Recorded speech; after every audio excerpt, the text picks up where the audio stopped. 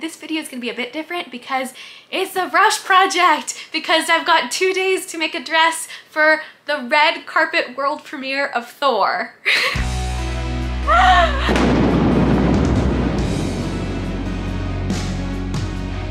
Basically, Disney invited me to walk the red carpet with all like the actors and all the fancy people Chris Hemsworth is gonna be there, Taika Waititi, Tessa Thompson, like everyone's gonna be there. So obviously I need a really nice dress for this and I've got about two days until the premiere. So we've got two days to make a red carpet dress. To be fair, they actually invited me last week. I just got a bit sick and a bit distracted making a mushroom lamp but we can't change the past. We've only got two days now and we're gonna make it work. So first things first, let's design some dresses. I'm gonna go and look through all the promotional media, watch all the trailers, go and see a bunch of different dress styles and just start sketching. For this first round of sketches, I tend to go with the motto that there is no such thing as a bad idea. Draw as many as I can and then from there we'll narrow it down. I'm really feeling a train, like kind of a short train. I'm also really feeling pants, like big pants.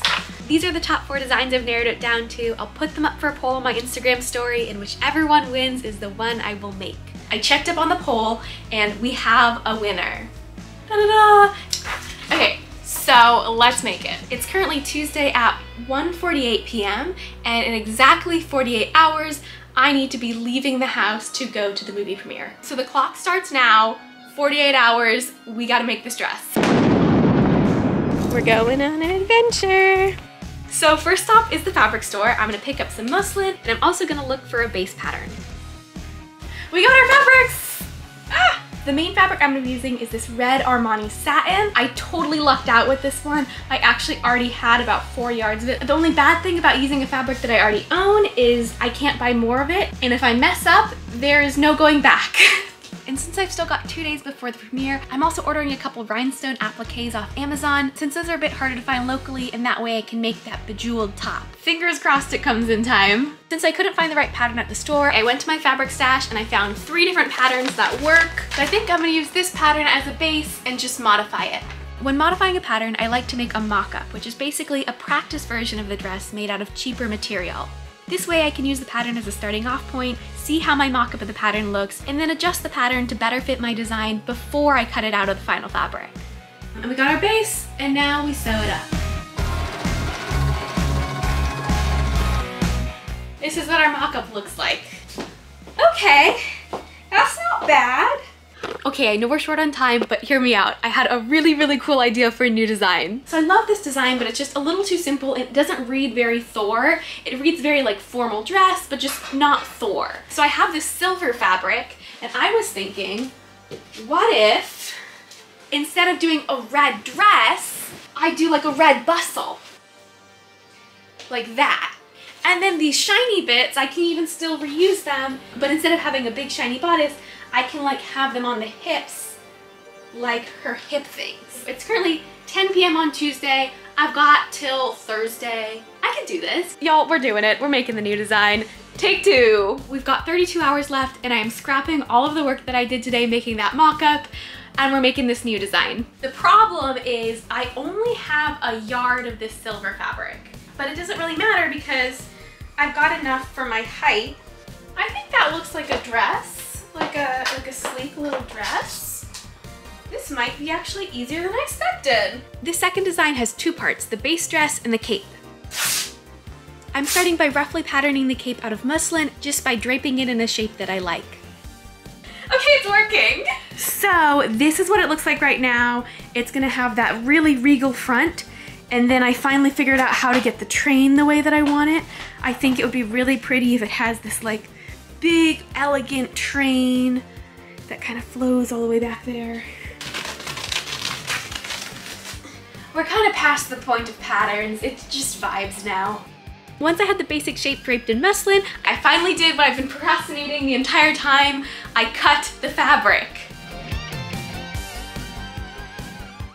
Now that I've cut it, I can actually start to drape it on the dress form and really start to make some real progress. Gonna call that a win. It is currently 2.30 in the morning and I think I'm gonna call it a night, but I think I actually have a pretty good start and a very doable amount of stuff for tomorrow. See you in the morning. Okay, so it is day two. We have a new design. And I think the first thing I'm gonna do is finish up this cape thing. So last night I draped the skirt. So this time around, I'm just going to pin it together and sew it all up.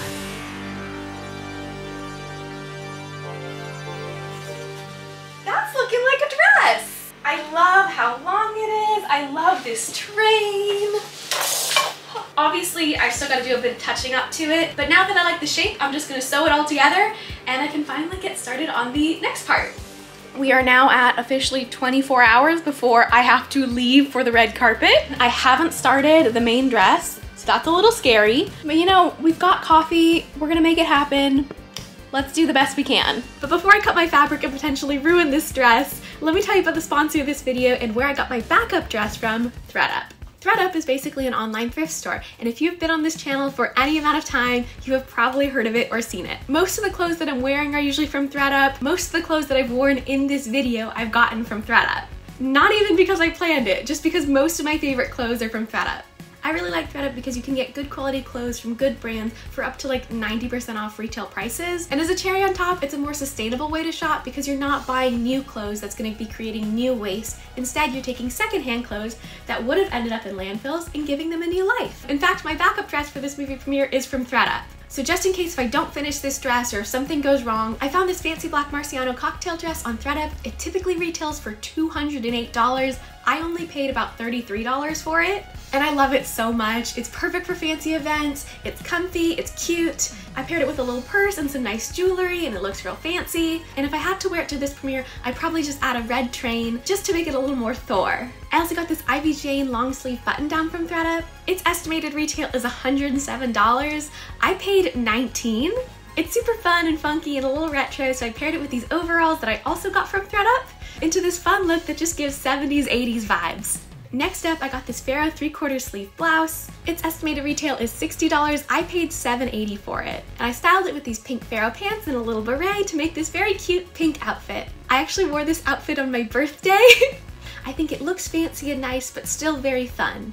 And lastly, I got these Endless Rose shorts. They retail for around $48. I paid $12.80. And since these have such a fun summery feel, I styled them with this flowy white shirt to create this sunflowery-ish summer look. ThredUp also gave me a promo code to share. You can use code CRESCENT for an extra 35% off your order and free shipping. So thank you ThredUp. You can check all this out in the link in the description. They're really cool. I've obviously used them a bunch and I love them. But thank you ThredUp so much for sponsoring this video, for providing my backup dress. And with all that said, let's get back to sewing this dress. Since I only have a yard of the other fabric, I'm gonna use this as like a practice thing that I can cut up and find what shape for the dress that I like. So this is what it looks like so far. I'm actually gonna take a quick break, go to the airport and pick up my friend who is also coming to the premiere with me, and then we will finish this up. We're back and we got a friend. It is currently six o'clock. I've got a couple more hours tonight to finish this dress and crunch mode. I think we've got this. you got it. I also got a bunch of Amazon packages with all the jeweled appliques that I ordered for the first dress. I didn't really plan to use them for this design, but they look really nice. I think I'm just gonna go and put them up for a couple drapes, see if I like it or if I like without the jewels better. Oh my God, looks perfect. I think this is what we're gonna go with but it's pretty see-through, so I think I'm gonna end up making a thing that matches my skin tone over here just to go under it and provide a little more coverage and support. For this understructure, I'm draping a pattern out of muslin and just roughly following where the applique sits on the dress form. Then I can take my muslin drape, cut it up so it becomes a pattern, and trace that pattern onto my skin tone satin fabric. So this is the fabric that I'm going to be using that is my skin tone. It is really good skin tone, but it's also kind of flimsy. So I have either a canvas or a crinoline fabric, which is what you use in petticoats. We're gonna do the crinoline. So I'm building out the bodice and it's looking pretty good. This is the underlayer that's gonna go under to give it a bit of structure. It's currently 8.40 at night, so I'm gonna run to Joann's to pick up a bit more fabric before it closes. Let's go. We're really hopping in as the last customers of the night. We're good to go.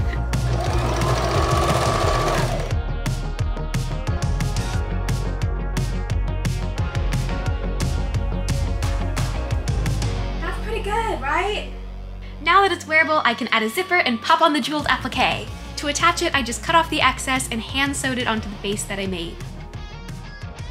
Look at this. don't look at the back. It's gonna be covered by a cape. This looks so fancy. I know this looks precarious at best, but it's like pretty stable and it's gonna be taped down. So I'm pretty excited. This is going a lot better than I thought it would. I've got to do the cape skirt thing and that's it. So we're pretty close. We're going pretty good. For the cape, I'm placing it where I want it to go and then sewing it onto the main dress. Okay, she is nearly done. Let's try her on. There's no back. like fully my bum's out, but it's okay. It's gonna be covered by a cape. So this is the look. I feel like a movie star. There's still a couple things I need to do in the morning. I need to finish hand sewing down this applique. So I will go to bed, see you in the morning to finish this guy up and get ready for the premiere.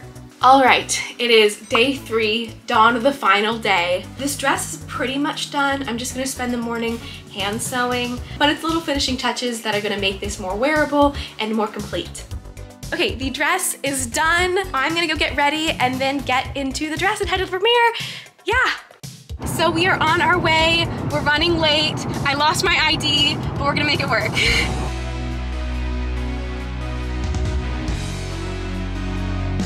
All right, we are here in the parking lot. I'm gonna go get changed because I was driving, but we'll be there in like maybe like five minutes. Um, we're right on time, it's awesome. this dress is, of course, still not done, so I'm to be safety pinning myself in.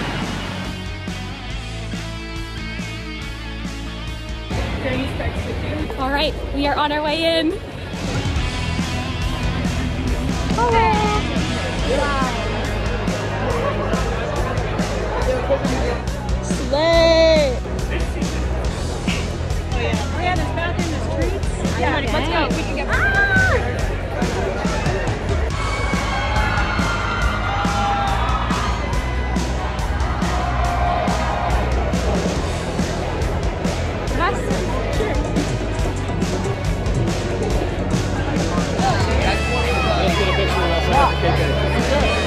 Just talked to Chris Hemsworth and I'm crying.